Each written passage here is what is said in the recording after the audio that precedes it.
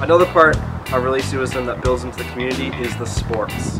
Even outside of the classes, I had a blast. Make sure you bring summer clothing and hiking gear and swimsuits for the first month and a half, two months of the semester. I don't know whose idea it was to put a university in the small town of Barry's Bay, but it was a stroke of genius. It's a beautiful place to come in contact with God through His creation. And if you're an outdoors person, it's the place for you because there's something to do every season. You don't need any experience. There were some people this year that the first time skating was at SWC Hockey Night. One of my favorite memories from this year is the alumni weekend student versus alumni hockey game.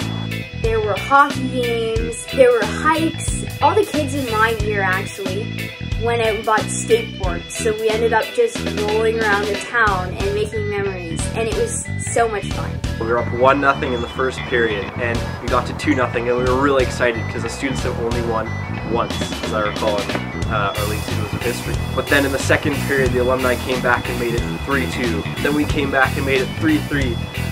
And it was amazing. We were so excited, but within the last five or ten minutes, alumni came back and scored another goal. So I think we ended up losing five to three. So even though we ended up losing, it was an amazing experience I got to share with all my friends, with my housemates, and my fellow students at Lady of Wisdom, and I can't wait to play some of our alumni next year. Barry's Bay is the perfect place to get your fill on all your outdoor needs, such as biking, swimming, uh, camping, and snowshoeing. So I recommend that you borrow the school's gear and head out for a weekend, or if you want something shorter, uh, there are a few hikes around. Uh, there's one in Combermere, the Gun Mountain Loop, that I really enjoyed.